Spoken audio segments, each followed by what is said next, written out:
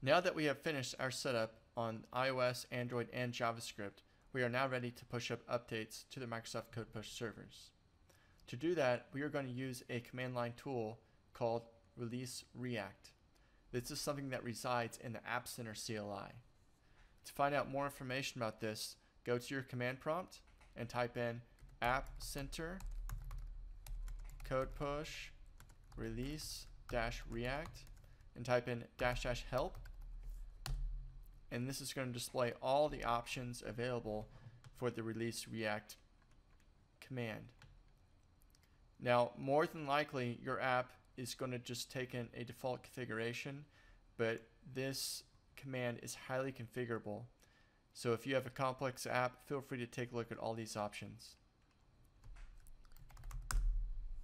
Now to do our release we are just going to run more or less a default configuration so let's type in app center code push release dash react.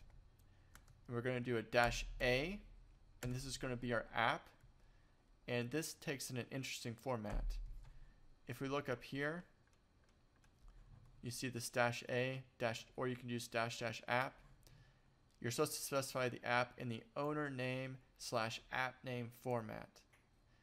You may be asking yourself, what is the owner name? In order to find that, go to the App Center.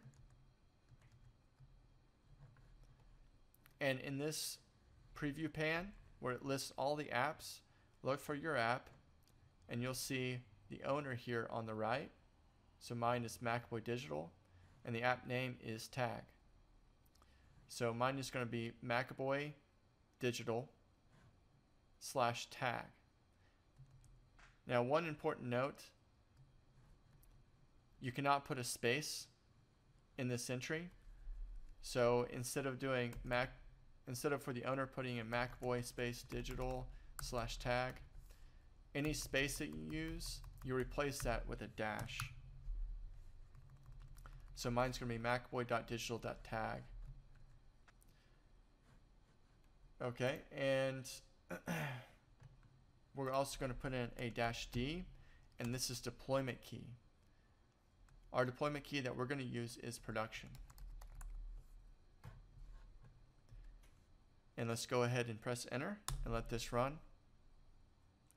This does take a while because it is going to bundle up your JavaScript portion of the app and then deploy it out. And depending on the size of your app, this could take a while. Okay, it looks like mine completed successfully. So if I go back into the App Center, I navigate to my app, and I go to Distribute, and then to Code Push. I can see I have a new release here that was just created. So now I know that our Code Push release is on the Microsoft Code Push server.